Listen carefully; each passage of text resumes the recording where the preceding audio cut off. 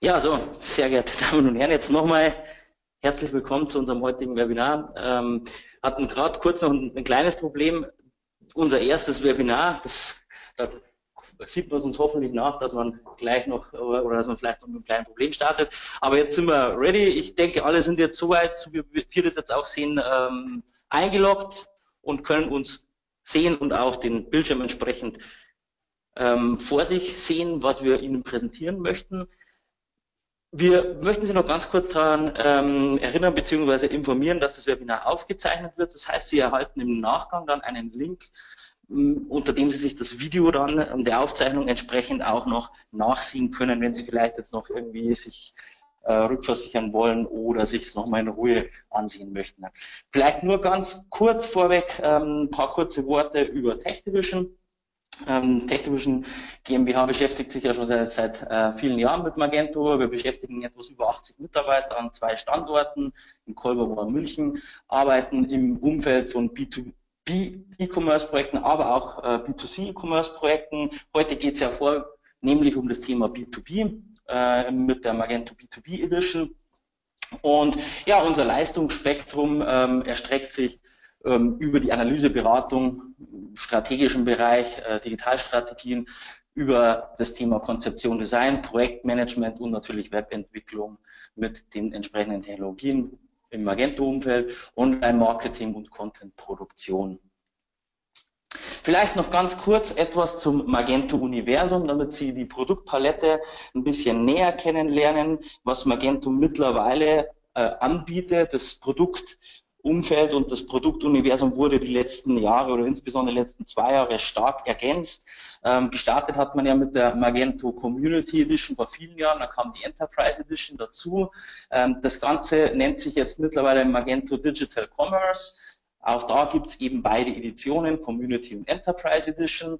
Und äh, darum bildet sich ein schönes Ökosystem an unterschiedlichen weiteren Produkten. Zum einen der Marktplatz mit den Extensions, das, die jetzt gerade im, Umfeld der Magento 2 Version komplett gelauncht wurden. Dann ein weiteres Produkt, das letztes Jahr vorgestellt wurde, das Commerce Order Management System. Das ist ein klassisches Order Management System, das eben Magento erweitert um Order Management Funktionalitäten, speziell wenn es in Richtung Omnichannel dann geht, also die Verbindung von stationären Einzelhandel und einer E-Commerce Plattform. Darüber hinaus wurde im letzten Jahr ein Unternehmen, nämlich RJ Metrics, äh, zugekauft und ähm, dieses Unternehmen stellt eine Business Intelligence Software für den E-Commerce zur Verfügung, die jetzt aktuell gerade in Magento integriert wird. Ähm, im Rahmen der ganzen Cloud-Anforderungen und insbesondere natürlich auch, dass äh, viele E-Commerce und generell Webanwendungen in die Cloud wandern, hat sich natürlich Magento auch ähm, dieser Sache angenommen und bietet zudem eine Magento Enterprise Cloud Edition an. Wir wollen uns heute aber mit dem Thema B2B auseinandersetzen und Magento Digital Commerce bietet jetzt ein Add-on eben für den ähm, B2B-Handel entsprechend an, das so klassische Funktionalitäten abbildet, die im B2B häufig gefordert sind. Und äh, vorneweg gesagt, Magento ähm, B2B oder die B2B Edition ist Teil der Magento Enterprise Edition. Das bedeutet also, es fallen keine zusätzlichen Kosten für Magento Enterprise B2B an, sondern das ist wirklich in der Enterprise-Lizenz mit inkludiert. Ja, das wäre es jetzt erstmal zum Produktuniversum von Magento und ich würde jetzt äh, ganz kurz an Laurent übergeben, der bei uns jetzt die Demo für Sie machen würde. Und im Nachgang gibt es dann entsprechend noch die Möglichkeit, dass Sie über das Chatfenster uns Fragen stellen und die würden wir dann natürlich sehr gerne beantworten.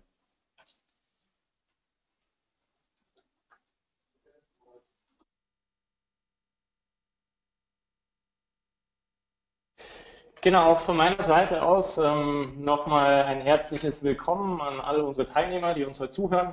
Ich habe heute ähm, die Ehre, Sie durch die neuen Magento B2B Features zu führen. Ähm, würde da gleich mal starten. Ich weiß nicht, inwiefern Sie alle vertraut sind mit dem Magento 2 Backend. Ich werde heute nicht erklären, ähm, wie Magento 2 im Detail aussieht, sondern werde mich wirklich heute nur auf die B2B-Funktionalitäten, die hinzugekommen sind mit der Magento B2B Edition fokussieren. Ich würde da ganz gern im Configurations-Bereich von Magento anfangen. Da sehe ich hier unter dem Reiter beziehungsweise unter dem Bereich allgemein einen neuen Reiter B2B-Features. Da sind die Funktionalitäten aufgelistet, die eben mit dieser Magento B2B Edition mitkommen. Ähm, es geht also zum einen um die Verwaltung von Unternehmen, die eben jetzt möglich sind, um die Erstellung von sogenannten Shared-Katalogen. Shared-Kataloge sind kundenindividuelle Kataloge mit einem speziellen Pricing, das auf Kundenebene beziehungsweise auf Kundengruppenebene einschränkbar ist.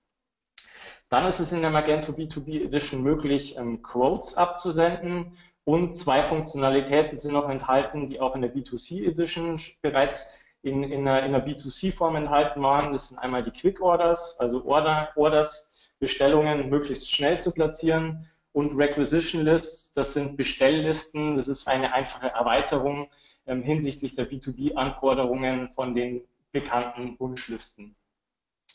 Zudem habe ich hier im Konfigurationsbereich ähm, die Möglichkeit, Payment-Varianten einzuschränken für meine B2B-Kunden. Das heißt, im Default-Modus äh, sind ähm, standardmäßig alle Payment-Varianten aktiviert. Ich könnte aber auch nur spezifische Payment-Varianten, die ich jedem anbieten möchte, meinen B2B-Kunden zur Zahlung zur Verfügung stellen. So viel zur Konfiguration. Ich würde jetzt einfach mal direkt in das erste Feature reinspringen. Und zwar, das sind es die Unternehmen, die Unternehmensverwaltung. Verbirgt sich hinter dem Reiter Kunden. Hier gibt es eine neue Kategorie und zwar nennt sich die Companies. Allgemein sollte man sagen, die, die neuen Features sind ähm, komplett in äh, Magento integriert. Das heißt, man kann auch auf das, auf das Magento 2 Grid zurückgreifen. Das sieht man hier. Das heißt, ich habe meine Standardfunktionalitäten wie zum Beispiel eine Volltextsuche. Ich kann Filterungen vollziehen, damit meine, meine Unternehmen eben relativ einfach finden. Ich kann verschiedenartige Views definieren für Backend-User-Gruppen. Ich kann meine Spalten ähm, anklicken oder auch wegklicken, die dann hier unten je nach Präferenz eben im Drag-and-Drop-Verfahren individuell verschieben. Und es besteht natürlich auch eine Exportmöglichkeit wie ähm, in den anderen Bereichen von Magento 2, entweder als CSV oder als XML. Ganz wichtig zu wissen ähm, zu Unternehmen ist, dass ein Unternehmen immer einen Status hat. Ähm, Magento unterscheidet generell in vier Statis, die da zur Verfügung stellen, zur Verfügung stehen. Da können wir mal in so einen Eintrag, zum Beispiel in Tech Division GmbH, das ist eine Firma, die ich schon mal als Beispiel angelegt habe, ähm, also uns, hier sehe ich die Statis, die generell möglich sind. Ähm, das heißt, wenn jetzt eine neue Registrierungsanfrage im Frontend reinkommt, würde der Status eines Unternehmens immer auf Pending Approval stehen, weil der natürlich erst vom Händler genehmigt werden muss. Darüber hinaus gibt es noch die Statis Rejected. Wenn ich einer, einem Unternehmen nicht erlauben will, in meinem Shop einkaufen zu können, dann könnte ich eben den Status setzen und ähm, das Unternehmen würde dann eine Benachrichtigung per Mail bekommen, dass ähm, es nicht bei uns im Shop einkaufen kann. Und es gibt noch einen weiteren Status, der nennt sich Blocked. Ähm, blocked steht für eine temporäre Blockierung, zum Beispiel wenn eine Rechnung noch offen steht. Entschuldigung. Ähm, Active ähm, ist für, für Unternehmen vorhanden, die bereits vom, äh, vom Händler approved sind, ähm, die also vollen Zugriff zu unserem System bekommen und entsprechend auch entweder Orders platzieren können oder Angebote anfordern können.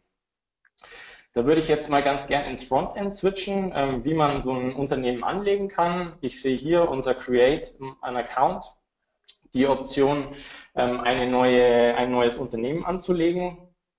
Müsste dann dementsprechend meine Felder befüllen ähm, mit dem Namen, mit der E-Mail-Adresse, Umsatzsteuer-ID, Adresse und ähm, müsste einen Unternehmensadministrator definieren. Ganz wichtig zu wissen ist bei dem Unternehmensadministrator, es kann nur einen geben, den ich hier definieren muss. Den kann ich dann in meinem Account-Bereich auch jederzeit wieder ändern aber es kann für ein Unternehmen nur einen Administrator geben. Den muss ich hier eintragen. Ähm, wenn ich die ganzen Felder dann befüllt hätte, dann würde ich meine Anfrage submitten und ähm, das Unternehmen würde dann hier in meiner Unternehmensliste entsprechend aufpoppen. Nehmen wir mal die Tech Division E-Consulting ähm, GmbH zum Beispiel, weil man sieht hier beim Status, dass die noch auf Pending Approval stehen. Das heißt, die haben ihre Registrierung gerade abgeschickt, haben die Benachrichtigung bekommen, dass ähm, sie vom Händler erst genehmigt werden müssen, bevor sie sich einloggen können im Shop-Bereich. Könnt ihr jetzt hier in den Unternehmenseintrag reinschauen als Händler und würde dann hier eben, wie gerade erklärt, den Status Pending Approval sehen. Ich könnte den jetzt, wie gesagt, auf Active setzen, dann wäre es möglich, den Status eben zu wechseln. Der, das Unternehmen würde dann eine E-Mail-Benachrichtigung bekommen mit der Aufforderung, das Passwort zu setzen. Das würde dann vom Admin durchgeführt werden des jeweiligen Unternehmens. Zudem ähm, muss ich einen Sales-Verantwortlichen definieren, ähm, falls der Händler noch Rückfragen hat. Das ist im, im, im Default-Modus immer der Admin, könnten aber jetzt auch andere User sein von dem Unternehmen, die ich hier in dem Dropdown-Feld eben auswählen kann. Der Händler hat ähm, zudem die, Info, die, die, die Möglichkeit, ähm, Account-Informationen zu ändern, die Adresse zu ändern, ähm, auch den Admin zu ändern für das jeweilige Unternehmen. Und was auch ein optionales Feature ist, Unternehmen können in der B2B Edition auf Kredit einkaufen. Das heißt, ähm, ich könnte hier eine Währung definieren, ich könnte ein gewisses Kreditlimit angeben. Das heißt, ich sage, ähm, Tech Division E-Consulting GmbH darf nur bis 1000, 1000 Euro auf Kredit kaufen. Ähm, ich könnte ähm, dann auch eine Änderung vornehmen. Das heißt, ich könnte denen theoretisch auch erlauben, indem ich diese Option aktiviere, über diese 1000 Euro einzukaufen. Aber wenn ich das nicht aktiviert habe, dann werden alle, ähm, alle Käufe über die 1000 Euro eben abgelehnt. Dann habe ich hier noch ähm, den Advanced-Bereich, die Advanced-Einstellungen. Da kann ich dann noch jedem Unternehmen eine Kundengruppe beziehungsweise einen Shared-Katalog zuweisen. Auf die Shared-Kataloge komme ich nachher noch zu sprechen. Das Feature werde ich noch herzeigen. Dann ist es möglich, ähm, auf Unternehmensebene zu definieren, ob ein Unternehmen in der Lage ist, Quotes abzuschicken oder nicht. Und ich könnte aus den Payment-Methoden, die ich im Konfigurationsbereich festgelegt habe, könnte ich nochmal spezifische rauspicken auf Unternehmensebene. Ich würde jetzt nochmal ganz gern ins Frontend switchen. Ich habe jetzt schon mal ein Testunternehmen, wie gesagt, uns angelegt. Da bin ich als Administrator definiert worden, also als Company Administrator. Logge mich hier mit meinen Daten ein und sehe, dass die Menüleiste deutlich größer geworden ist ähm, im Vergleich zum, zu, den, zu, der B2C Edition. Das heißt, ich sehe hier eben neue Reiter, ähm, wo ich eben meine Angebote einsehen kann. Ich sehe hier die neuen Requisition Lists, die neue Funktionalität und ich sehe hier unten einen relativ großen Bereich, der sich eben um die ähm, Unternehmensverwaltung kümmert. Unter Company Profile hätte ich nochmal die Möglichkeit, mein, mein Unternehmensprofil zu editieren. Das heißt eben die Account-Informationen, ähm, nochmal den Administrator vielleicht neu zu setzen, zu ändern, den äh, Sales-Verantwortlichen zu ändern und hier nochmal meine Payment-Informationen einzusehen. In dem nächsten Reiter ähm, hätte ich die Möglichkeit, eine Unternehmensstruktur zu setzen. Ich habe jetzt hier schon mal so eine Beispielarchitektur angelegt. Ähm, die meisten von Ihnen wissen es wahrscheinlich, wir haben zwei Büros. Ich habe jetzt einfach mal als Beispiel diese zwei Büros als Einkäuferorganisationen angelegt. Das heißt eben eine Einkäuferorganisation für unser, unseren Hauptsitz in Kolbermoor und eine weitere Einkäuferorganisation für unser Büro in München. Ich sehe unter einer Einkäuferorganisation kann ich Einkäufer anlegen. Das heißt, ich habe jetzt den Herrn Beusen und den Herrn Willkommer mal für unsere Einkäuferorganisation in Kolbermoor angelegt und den Herrn Storz für München. Ich habe jetzt hier relativ komfortabel die Möglichkeit, innerhalb ähm, von diesem von diesem Baum ähm, per Drag-and-Drop-User beziehungsweise auch Einkäuferorganisationen einfach hin und her zu schieben. Das heißt, mal angenommen, der Herr Willkommer würde jetzt zum Standort München wechseln als Einkäufer, dann könnte ich den hier im Drag-and-Drop-Verfahren relativ einfach einfach runterziehen. Das Ganze kann ich natürlich dann auch wieder rückgängig machen, indem ich ihn dann wieder in die Einkäuferorganisation Kolbermoor hinzufüge. Zudem sehen wir oben ein Schnellmenü. Das heißt, ich kann entweder diesen Baum einklappen, ähm, aufklappen. Ich kann direkt einen User on the fly anlegen. Da öffnet sich ein Pop-up-Fenster, wo ich dann bestimmte Felder befüllen muss, wie zum Beispiel den Jobtitel. Ähm, auf das Rollen- und Rechte-System kommen wir gleich noch zu sprechen. Name, Nachname, E-Mail-Adresse, Telefonnummer und eben den Status, ob er aktiv ist oder inaktiv, also ob er, ob er sich einloggen kann in den Company-Account oder eben nicht. Dasselbe könnte ich auch für Teams machen, also in dem Fall für Einkäuferorganisationen. Das heißt, die könnte ich hier auch direkt anlegen. Ich könnte auch direkt User- oder Einkäuferorganisationen editieren und ähm, könnte dasselbe auch löschen. Company Users ist im Prinzip nochmal eine ähnliche Darstellung, nur als Tabelle. Das heißt, ich habe hier nochmal meine kompletten User, die in meinem Unternehmen angelegt sind, gruppiert mit den jeweiligen Informationen. Das heißt eben mit dem Namen, E-Mail-Adresse, mit der Rolle, auf, das, auf, die ich gleich noch zu sprechen komme, mit dem jeweiligen Team, mit dem Status. Und ich könnte jetzt einen User auch hier direkt auch im Company Structure Bereich entweder editieren oder löschen. Genau. Ganz spannend wird es jetzt ähm, in diesem Roles and Permissions Bereich. Hier habe ich wirklich, ähm, wir können jetzt mal eine neue Rolle anlegen, eine beispielhafte Rolle. Ähm, ich habe mir gedacht, dass wir mal das Beispiel durchgehen mit Buy on Quote. Das heißt, ähm, dass der Einkäufer nur Artikel beziehungsweise einen Warenkorb einkaufen darf, wenn er auch eine Quote angefordert hat. Das heißt, wenn er ein Angebot eingefordert hat beim Händler. Hier unten sehe ich den Kategoriebaum. Ähm, wie gesagt, die Berechtigungen sind sehr feingranular ähm, einzuschränken. Zum Beispiel, ob der User bestellen kann und wenn ja, ob er auf Kredit bestellen kann, ob der User Bestellungen einsehen kann, Angebote anfordern. Und das würde ich jetzt gleich mal anhaken. Das heißt, unser User, unsere Rolle soll Angebote anfordern können, editieren können oder auch löschen können. Würde ich das anhaken hier und äh, wenn er ein Angebot zurückerhält vom Händler, soll er dieses Angebot auch direkt einkaufen können. Das heißt eben den Checkout vollführen können. Deswegen würde ich das auch mal anhaken.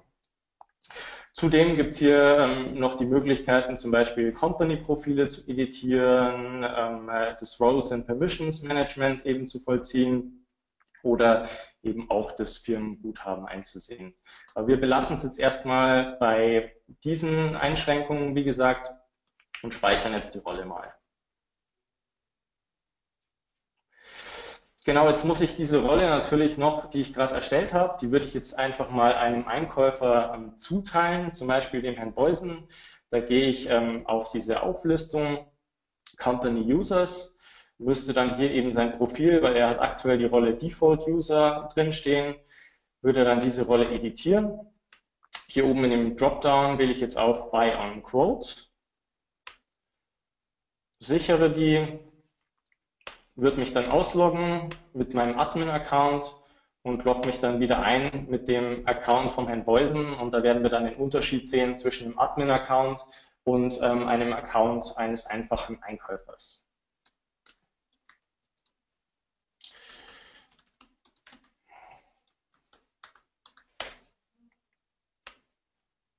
Genau, man sieht, er hat eine eingeschränkte Sicht. Das heißt, es sind nicht mehr allzu viele Menüpunkte vorhanden. Und ähm, er kann jetzt, wenn ich, hier, wenn ich mir hier mal Produkte in den Warenkorb lege,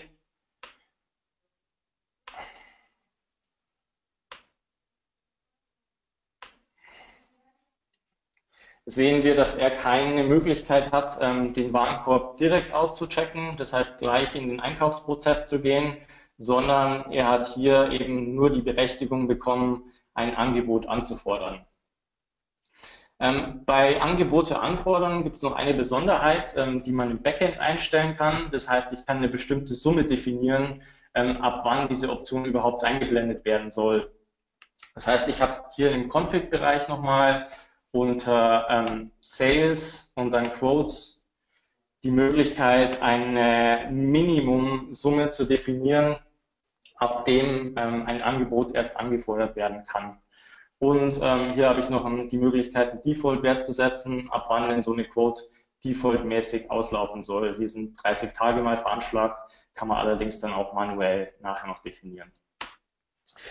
Das heißt, ähm, ich bin hier immer noch mit dem Account vom Herrn Beusen unterwegs, ähm, würde jetzt hier einfach mal ein Angebot anfordern Das heißt, ähm, hier hat man die Option, eine Kommentierung zu hinterlegen, einen Kommentar, einen Namen. Bitte um Angebot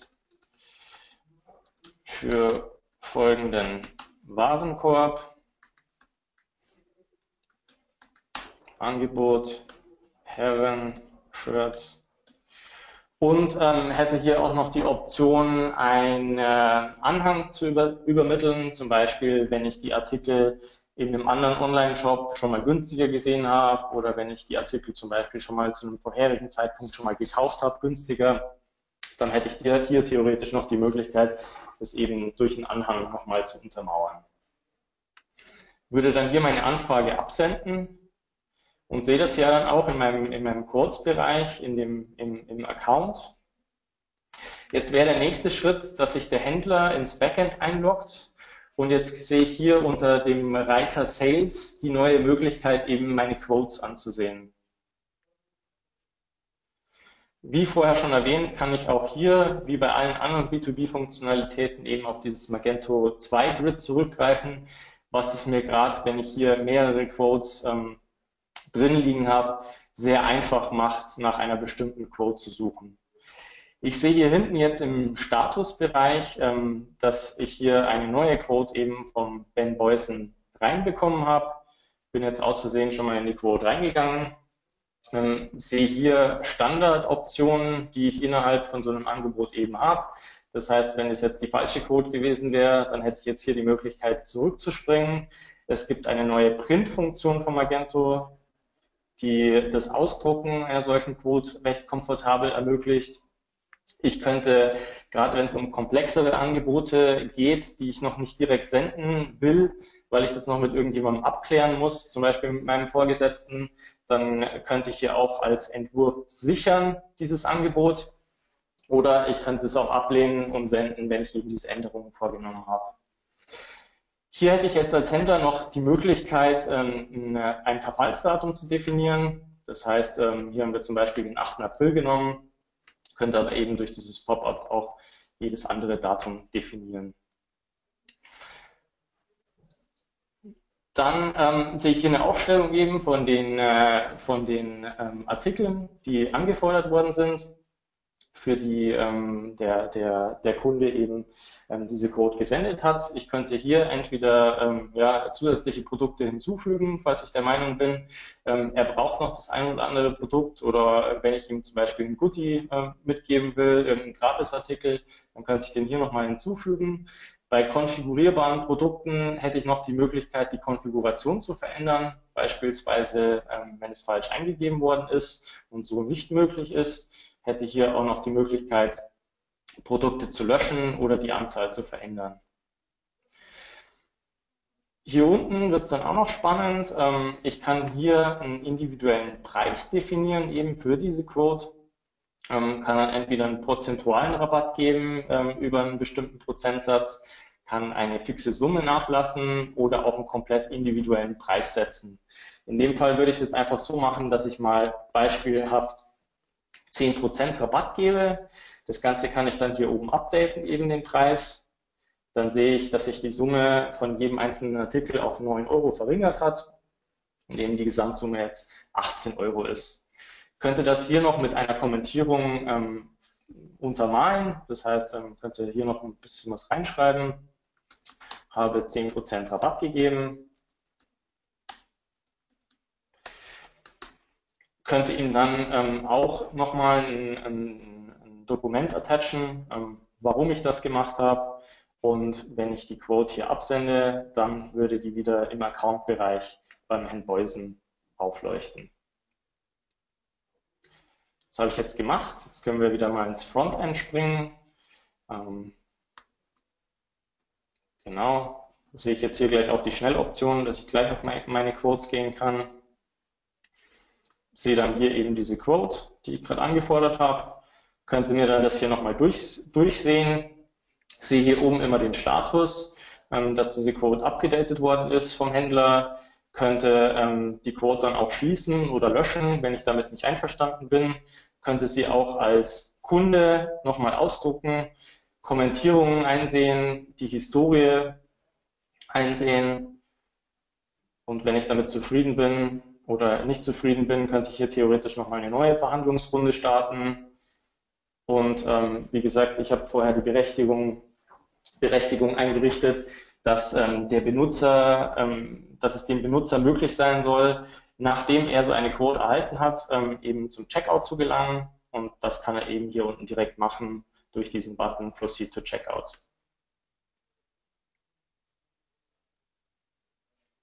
Genau, sehe dann hier die Adresse, die hinterlegt sind, ähm, sehe hier nochmal meine Shipping-Methoden. Aktuell ist jetzt in dem Demo-Modus nur eine aktiviert. Das heißt, ich habe hier keine Wahloptionen. Ihr könnt natürlich theoretisch, falls mehrere hinterlegt wären, ähm, auch andere auswählen und könnte dann eben die Order entsprechend platzieren. Könnte dann hier wieder zurückgehen, ähm, meine Bestellungen einsehen, okay, die Berechtigung habe ich jetzt nicht, da müsste ich jetzt wieder in den, in den Administrator-Account zurückgehen, weil ich ja dem Einkäufer nicht die Berechtigung zugeteilt habe, ähm, Bestellungen anzusehen.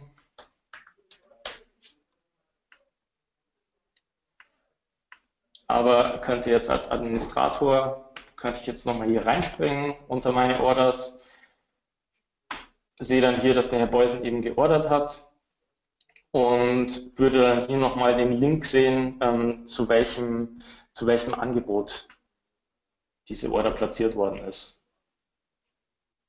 damit da eben die Nachverfolgbarkeit auch sichergestellt ist. Genau das war es soweit ähm, zu dieser Funktionalität, eben Quotes anzufordern. Jetzt hatte ich vorher noch zwei kleinere Funktionalitäten angesprochen, die so schon vorhanden waren in der Magento B2C Edition. Das sind zum einen die Schnellorders.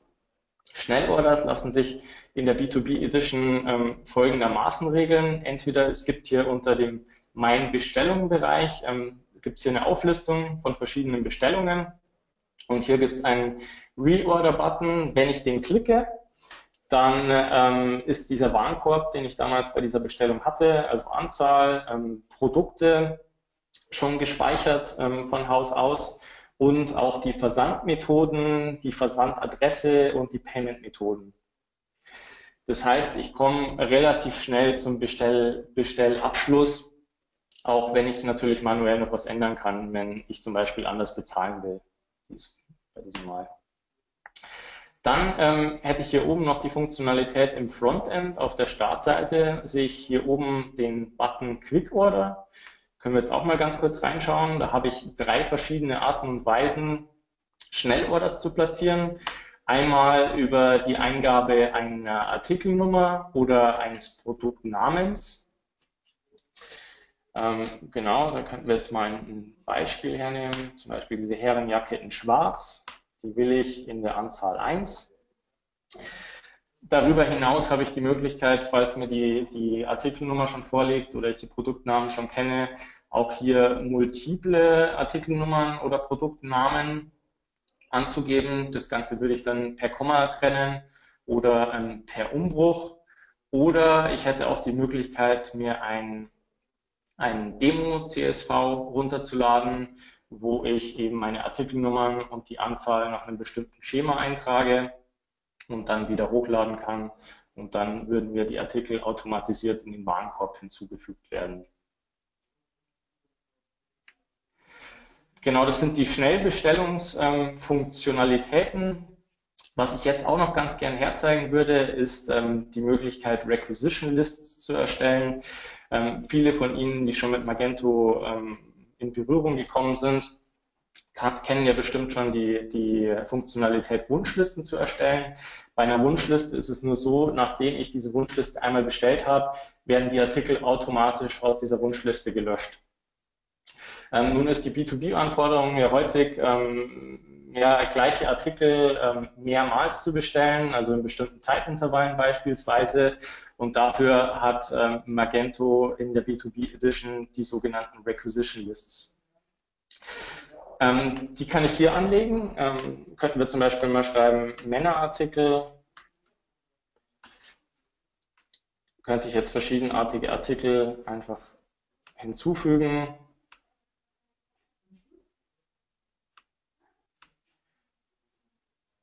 Und sehe jetzt hier unter meinem Account-Bereich, sehe ich jetzt hier die Option, meine Requisition Lists einzusehen,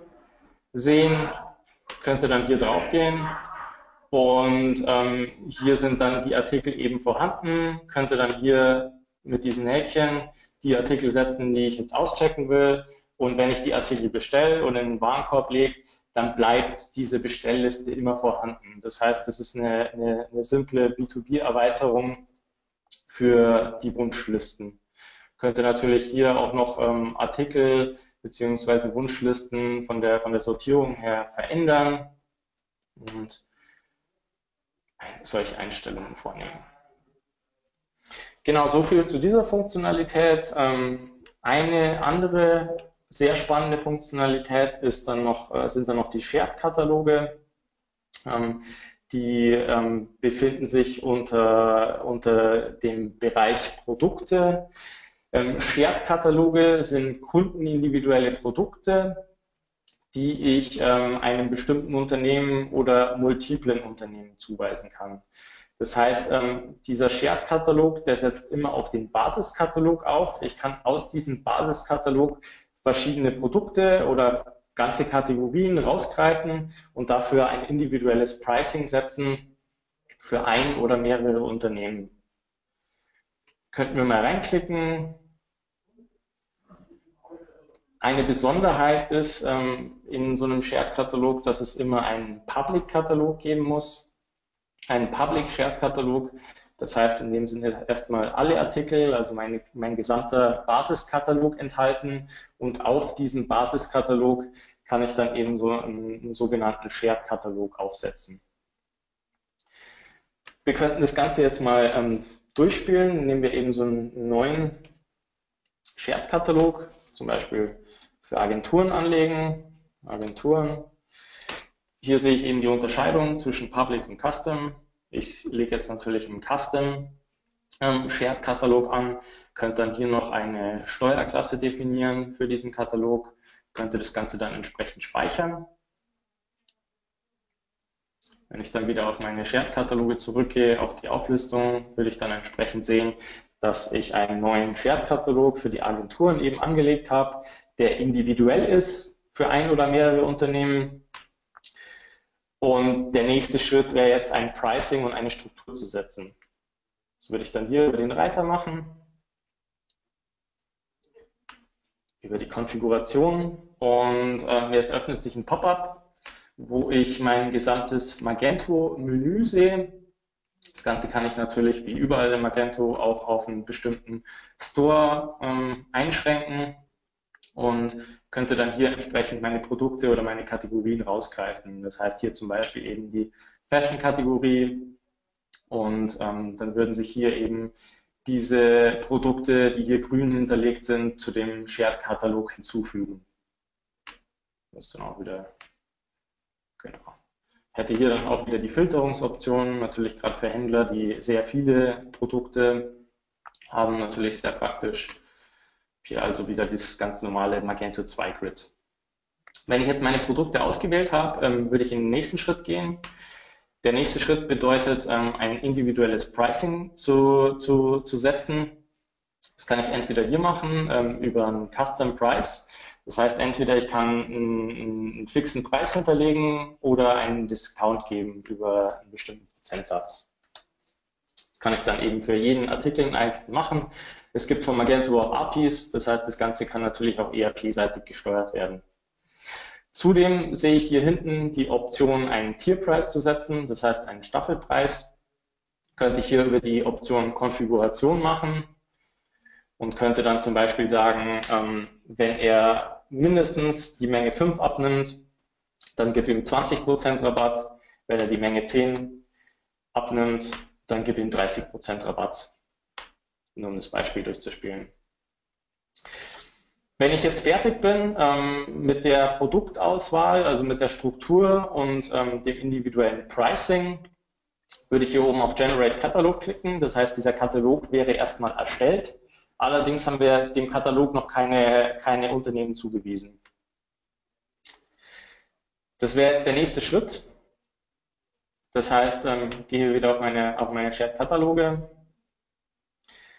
sehe hier diesen Agenturkatalog, den wir jetzt schon mal gesetzt haben bzw. konfiguriert haben und hätte hier unter dem Button Select jetzt die Möglichkeit, ähm, verschiedene Unternehmen zu assignen.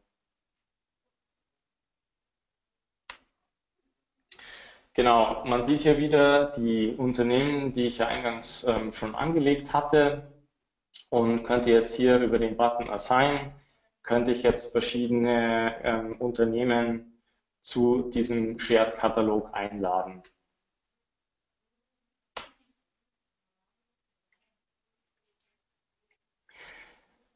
Diese Shared-Kataloge sind asynchron gelöst ähm, über die RabbitMQ, die jetzt leider bei uns in dem Demo-Shop nicht eingerichtet sind. Ähm, dementsprechend kann ich das jetzt im Frontend nicht herzeigen. Aber jetzt wäre es so, wenn ich als Tech Division eingeloggt wäre, dann würde ich wirklich nur diese Produkte sehen, die äh, ich hier zugewiesen habe. Und die anderen Produkte würde ich dann als Tech Division eben gar nicht sehen. Genau, ansonsten ähm, war es das soweit zu den B2B-Features. Ähm, wir wären jetzt noch für Fragen offen. Das heißt, ähm, Sie können hier gerne im Chat Fragen hinterlegen und ähm, gerne können wir auch noch im Anschluss ähm, Kontakt aufnehmen per Mail oder per Telefon. Ansonsten bedanke ich mich soweit schon mal für die Anwesenheit und hoffe, ich konnte Ihnen Magento 2 B2B-Features ein wenig näher bringen.